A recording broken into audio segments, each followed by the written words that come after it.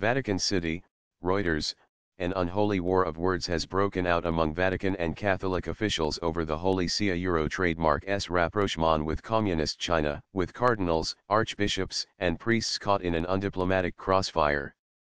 In the past few days, one cardinal has accused another of spouting a Euro e nonsense Euro and a priest accused an archbishop of being so naive about China that he was like Alice in Wonderland.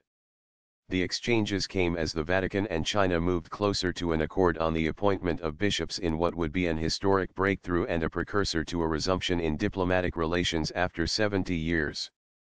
Any deal was bound to be controversial because of concessions the Vatican would have to make to a government that has kept religion under its thumb. But the accusations have become exceptionally shrill as diplomacy has collided with passion. Father Bernardo Cervellera, head of the Asia News Agency, which specializes in China, accused Archbishop Marcelo Sanchez Sorondo, the head of the Pontifical Academy of Social Sciences, of being a Euro e naivia Euro. In an interview this week, Sanchez Sorondo praised China, saying that Chinese today were those who are perhaps best implementing church teachings on social issues, such as concern for the environment and human dignity.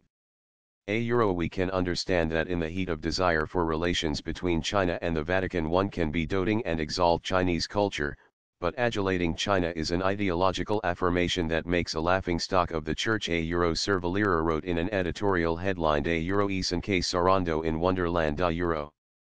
Catholics in China are split between a Euro underground a Euro communities that recognize the Pope and a state-controlled group where bishops are appointed by the government in collaboration with local church communities.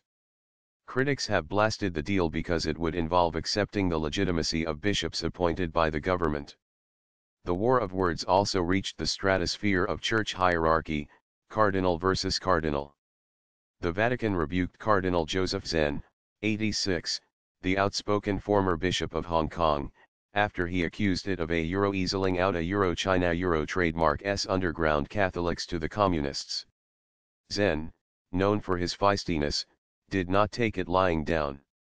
He accused the Vaticana euro trademark s chief diplomat, Secretary of State Cardinal Pietro Parolin, of speaking a euro e nonsense comma a euro after Parolin said in an interview that the aim of dialogue was the greater good and that the Vatican understood the a euro e pain a euro of Chinese Catholics.